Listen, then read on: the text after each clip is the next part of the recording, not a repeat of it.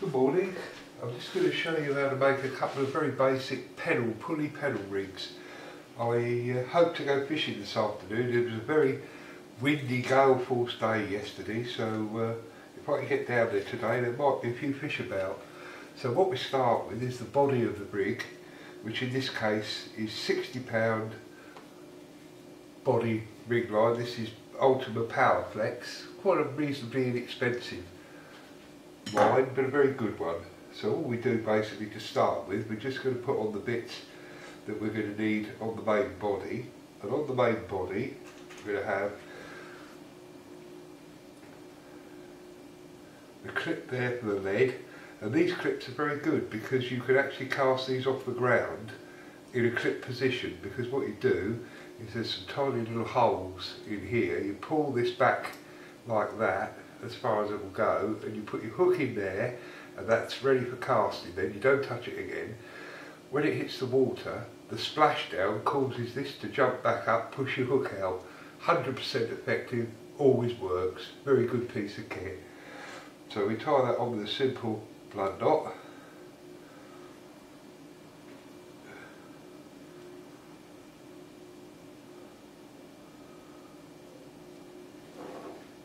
always just wet it to stop the line from burning.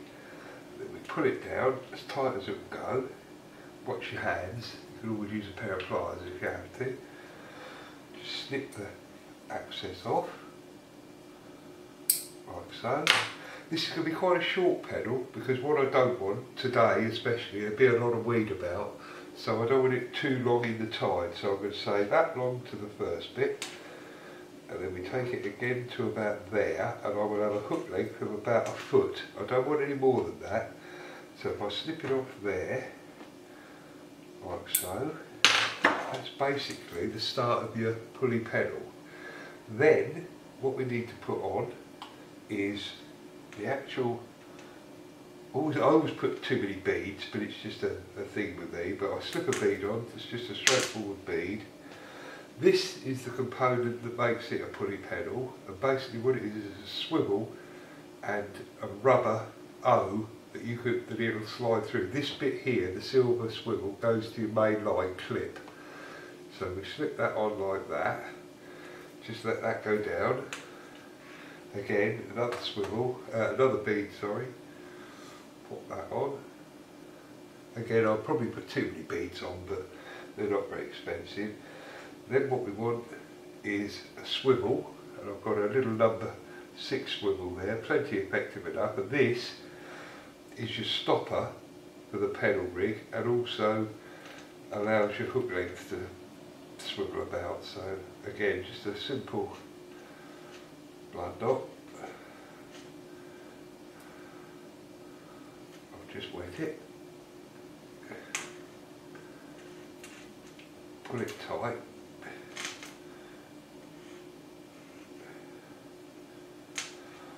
The access or excess. Right, now you get to see the idea. If I take that down to there, you see, what you've got is when that swivel now hits the bead, that stops. This is where your hook length is. So you've got your lead on here. This is just basically a buffer bead for the bottom, so that when it goes to there, it doesn't go over the knot and affect your knot. So that's where we are at this stage. What we need then is my choice of hook length is 20 pounds and easier. A little bit stronger than monofilament. Doesn't twirl about. If you get a lot of whiting trouble, you can find that uh, they do tend to swivel your, your line now quite a lot on the hook. For today, it's going to be a double hook, and it's a Sakuma Manta in 2-0. So we take two of those out. Quite a substantial hook because I'm not going fishing for tiny whiting. I'm hoping today after that blow there might be a bass or something about worth catching.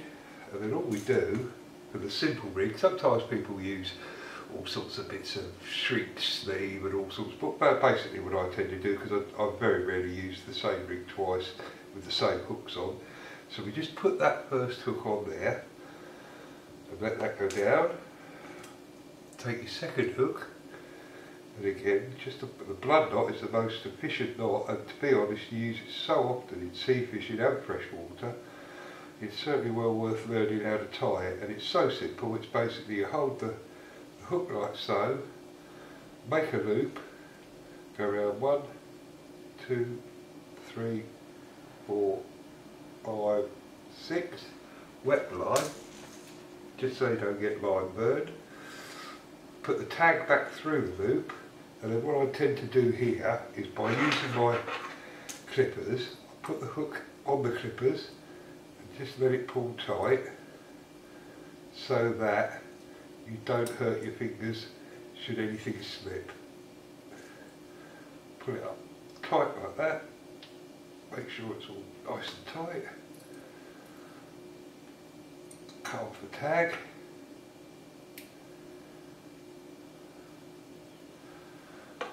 Right, now we've got the hook at the base and we've got the floating hook if you like there. We're going to have a hook length and the great thing with the pennel is until you actually set it you can pretty much play about with the hook length. So I'm going to pardon me go for quite a short hook length so we snip that off then we tie it to our swivel like so again the good old blood knot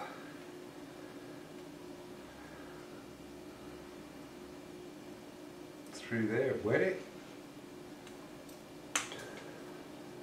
Watch the hooks now because they do tend to find flesh if they get the chance. Pull that up tight, take the tag off. And there we have a basic pulley pennel. Doesn't look very much, does it? To keep this secondary hook once you, you if you're using lugworms, you just get the length of the lugworm, put it on your hook as normal. When you get the head to about here, just go around the hook three times and that holds it perfectly okay like that. That goes the same for fish baits and also of course you can move it to the size of your bait. so if you're using say a, a piece of squid and you don't want it quite as long, you can have it like so. I'll just put a small lead on this and it will give you a rough idea of what it actually looks like completed. I won't put a saltwater lead on, I'll just put a little freshwater lead on. It's only just to show you basically how it all works. So your lead clips on there, like so. It's quite a tight bit, but of course it has to be. Right. So there we are, that's how it is. You connect this bit here to your main line, bait your bait on, put your bait on, and then when you're ready to cast, pull that down to expose the little hole in the thing, put that through there like so, and you're ready to go. And that's a nice, neat little rig. That onto your main line. When you cast out, as it hits the water, that will splash, release your hook.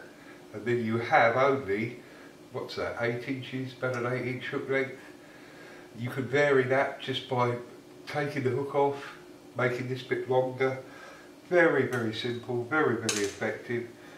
Catch everything that swims. And then we just get ourselves one of these self-sealing bags. Take the lid off, obviously, you don't need that on there.